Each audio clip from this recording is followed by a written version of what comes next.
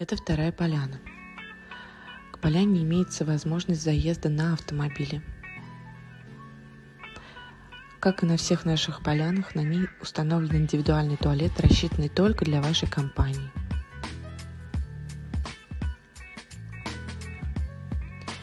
Давайте посмотрим, как выглядит сама поляна. Поляна достаточно просторная, защищена тенью деревьев, поэтому даже в самый жаркий солнечный день на ней сохраняется прохлада. На поляне установлен стол и скамьи. Имеется большая возможность для расстановки палаток. Имеется печь под казан, казан. Умывальник. Электрогирлянда